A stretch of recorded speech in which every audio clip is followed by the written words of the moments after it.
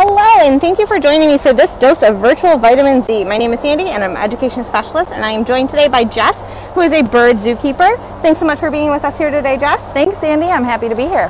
So today we're going to talk about ostriches, and ostriches are the world's largest bird, and they can weigh up to 350 pounds, which is quite a lot. Um, they are flightless, and they do live in certain areas of Africa. Jess, could you tell us how many ostriches are under the care of us of under our care here at the zoo? Yeah, so here at the Detroit Zoo, we care for one adult male ostrich, and his name is Hannibul. He shares the yard with the eland and they all get along. Yeah, he shares this habitat with two eland named Brad and Clover. There are also two white storks in this yard, and we have a saddlebill stork in this yard as well. Um, and in general, they all coexist very well together. Um, these animals have a lot of space to move around and they have ways of communicating with one another if you know if the eland for example feel like hannibul is kind of coming in their bubble or vice versa uh, they have ways of indicating that to one another and then they can kind of go about their way and um, do what they need to do in the space provided awesome how old is hannibul Hannibul is about 20 years old. Okay. We don't have the exact hatch date for him, but we have a very good estimate, so about 20. Can you tell me a little about his personalities or maybe different behaviors we might see if we come to visit him at the zoo? Yeah. So, um, working with Hannibul is extremely rewarding. He is a very inquisitive individual. He's very quirky. Um, and you really see a lot of his personality come through when he's displaying those natural behaviors. So, a couple of my favorite behaviors to observe in him are um, in the summer, he will seek out dry areas in the habitat and he will dust bathe. So, when he does that, he drops down from a standing position and uses his wings to kind of fold up the dirt and dust onto his plumage and um, ostrich actually do this because they lack a preening gland. So in other birds, they will use that preening gland, which is at the base of their body. They'll rub their beak on it and get oils on it and then use that to uh, groom their feathers. But since ostriches don't have that gland, um, by putting the dust through their feathers, that helps them to keep dry and healthy. Um, so, you know, when he's dust, dust bathing, you really see that personality come through. He might get distracted by something really quick, um, kind of straighten his neck up, direct his attention, and then go back to bathing. Um, it can be really fun to see those types of things. Uh, we also see seasonally a courtship dance behavior in him. So, um, especially in the spring and throughout the summer, he is uh, kind of in territorial mode where he would be defending a nest. And so he will definitely seek out animal care staff members and sometimes visitors and approach them and start displaying his courtship dance. So when he does that, he moves his feathers back and forth in a rhythmic pattern. His neck kind of gets going in an S-shaped pattern. It's very mesmerizing. It's very cool to watch. And is that that would be how he would attract a female and then defend his nest is from there too? Yeah, yep. Okay. So he would have a territory with his nest in it that he built he actually has one on Habitat. Um, he kind of tucked it away in this little alcove over here, so it's hard for visitors to see. Um, off to the left see. side of the screen here, yeah. If you, if, I'm just gonna. Huh. And so they kick out a big saucer-shaped hole, essentially, in the ground, and um, the surrounding area is what he would be kind of uh, defending, and then the courtship dance to attract the females. And so you had mentioned the females. So the females are not as large as he would be, right? Correct. The females are a little bit smaller in stature. They also have uh, sexual dimorphism in their plumage. So the females actually are a little bit more camouflage. They're more of a sandy, dusty color, whereas he has the very prominent uh, dark body feathers and then the lighter appendages. Awesome. Is he out in on habitat all year round?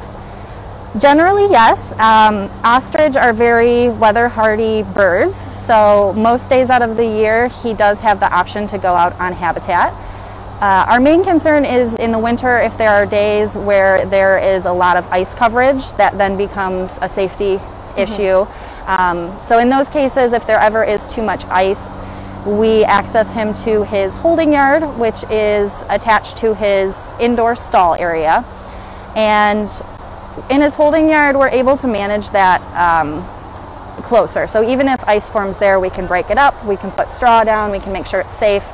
So he still has the opportunity to get some fresh air, step outside, and then go back inside if he wants to. Sure. So, speaking of holding yards and his indoor space, do you share that space with him? No, so animal care staff does not share the same space as Hannibul. Um, we have to consider, you know, the fact that ostrich have extremely strong legs and they do use their kicks as a defense mechanism. And knowing that, and also knowing, you know, that he does go through these seasonal territorial um, behaviors and um, demeanors, it's just best and um, in his best interest and our best interest to protect, use protected contact in our um, everyday routine. So in doing so, we always have some form of barrier between us and the bird, and that just really reduces any chance of risk, and it works well. I mean, he does seem like he's pretty big. So, how big is he and how much does he weigh? Um, male ostriches can get up to about nine feet tall, which is just a little bit shorter than a basketball hoop, which would be about 10 feet. Um, Hannibul, when he fully extends his neck, is at about seven, eight feet tall.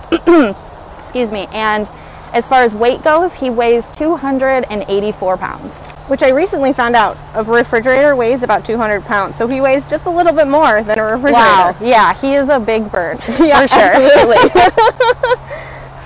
so I can see right now he seems to be grazing. What is it that he eats? So we offer him daily five and a half pounds of a ratite diet. He also gets one pound of cracked corn. He gets about a cup of uh, varied produce. It's different every day. We offer him different types of browse, um, especially in the winter months. And when you say browse, what, what does that mean? So those are different um, foli- foliage types that are safe for him to consume. Okay. Um, and then, of course, when he is out in the yard, as he's doing now, he's doing a lot of grazing, eating grasses, roots. Um, ostrich also will sometimes eat pebbles and gravel, and that helps them break down things that are in their gizzard. So, um, big bird, he consumes a lot. It sounds like it. I mean, at over six pounds of food a day. Yep. Which makes sense. He does weigh a refrigerator. Yep. So it kind of tracks. Yep. Um, so Hannibul has a really interesting story. Can you tell me a little bit about how he came to be here at the zoo? Sure. Um, Hannibul started out living in a garage in Illinois. Um, he was living amongst some other ostrich chicks, and at some point he was confiscated from that situation.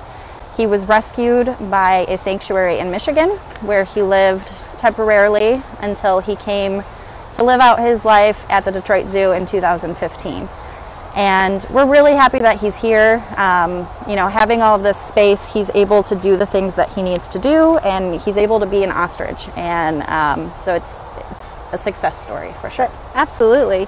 And it doesn't. I don't feel like a garage is a great place for an ostrich to be. I mean, Definitely not. there's not any place for them to graze. There's, Yeah. It's hard ground. Probably Yep. not a lot of air circulation. Very unsafe. Yeah. yeah. Yeah. So was he a pet? Do you know? Uh, I believe it was a pet scenario. Um, I can't answer that for sure, but uh, seems seems that it was a pet like scenario or leading towards that. Yes. I mean, with being such a large animal, he doesn't seem like a, a prime candidate to be sharing No. the space with. No, there's definitely, I mean, there's the factors about, you know, safety with it being such a large animal in a pet owner situation that could potentially be very risky for the animal or the owner. Um, and then, you know, just the resources that he needs as far as food and water, veterinarian care. Um, that would, those are just the core items that would be very challenging in a pet scenario. So it's, it's just not ideal. Right, absolutely. Well, if you want to see Hannibul, come and visit us at the Detroit Zoo, and you can see him in the African watering hole back by the Japanese macaques. And thanks so much for joining us for this dose of virtual vitamin Z. Thank you so much, Jess, for joining us no today. No problem.